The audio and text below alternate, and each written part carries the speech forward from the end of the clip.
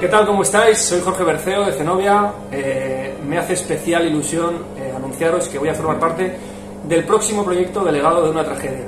Así que estad muy atentos porque va a ser un trabajo fantástico, no lo dudéis.